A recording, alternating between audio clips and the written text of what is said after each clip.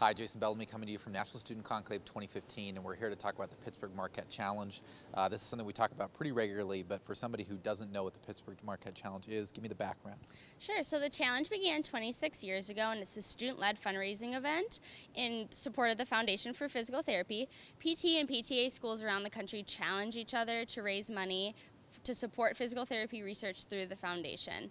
Last year was a record-breaking year, and we had a total of 146 schools participate in the challenge, and all of the money raised goes to the Foundation for Physical Therapy.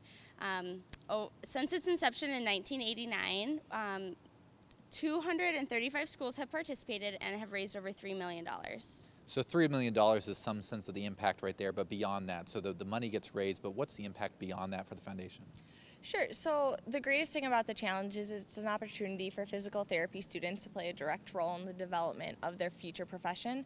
Um, all the money that we raise goes towards researchers who are dedicated to enhancing the physical physical therapy world.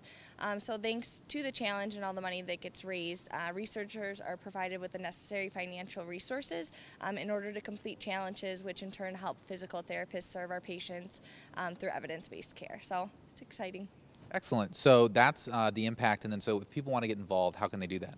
It's really easy. All you have to do is stop by the Foundation for Physical Therapy's booth here at NSC and donate $1, and that gets your school on the list. And then you can join your teammates or your classmates, and you can um, raise money when you get back to your school through different fundraising events like bake sales, 5K runs, and dodgeball tournaments. Those are just a few ideas.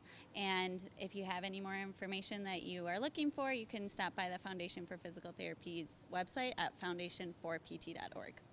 So check that out at the Foundation's website, and for more dispatches like this from NSC, go to the NSC website. Thank you, ladies. I'm Jason Bellamy, and I'll catch you later.